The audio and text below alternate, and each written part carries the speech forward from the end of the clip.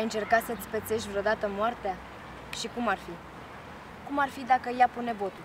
Cum ar merge mai bine? Cu flori? Șampanie? Cu bomboane de ciocolată? Cu prăjituri? Cu fondante? Chiar așa s-ar lăsa ea cu Ana moarte, Dita mai moartea, Conița, neînsurata, Doamna regulă momită, ea neîndurătoarea, ea inimă nemiloasă, sau cum zicem noi ăștia melodramatici, inimă de câine.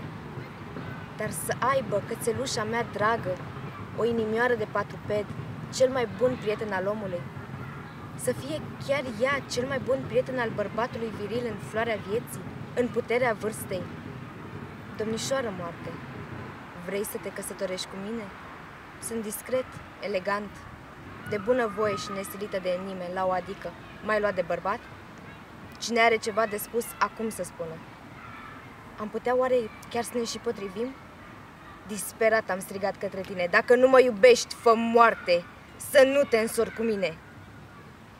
Și oricum, după nuntă o să ne pună în mormânt. Și oricum, după nuntă, am să rămân singur cu tine.